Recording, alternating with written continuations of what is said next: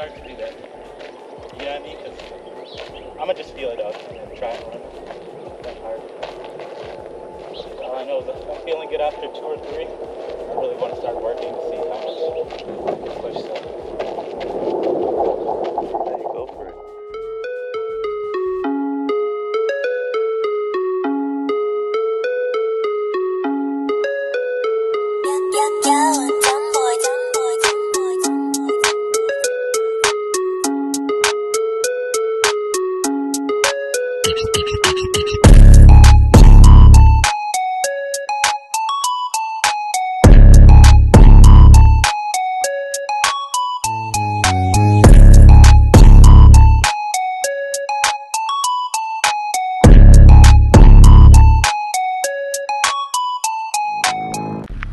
swing wildly. Mhm. It's supposed to be more controlled.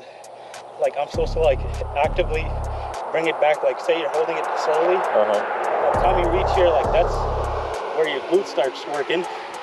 Basically on a leg swing, you have to go back to that point where you just can't go anymore, Mhm. and then bring it up to like you're not supposed to just let your body swing it. You have to actually control it. So like just Oh, here. control the back and forth. Yeah, you can feel it like where it gets tight or where the restric- restriction starts. Mm. But it's crazy because I was thinking like that's something I've been doing since 2016.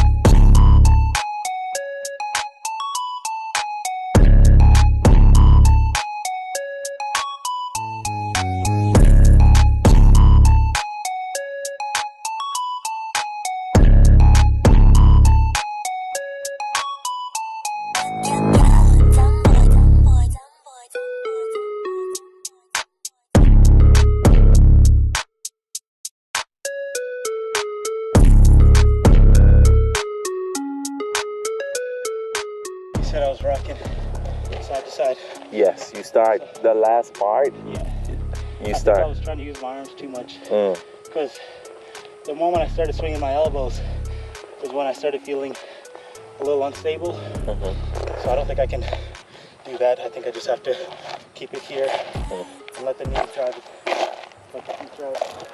Let the bottom half do the work and just use the top to control the rotation.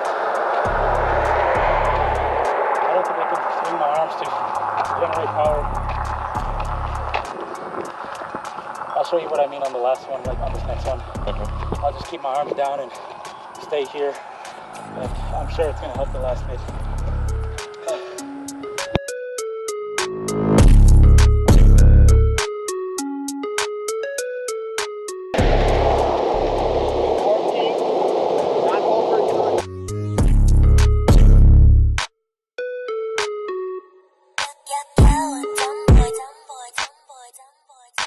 Yeah.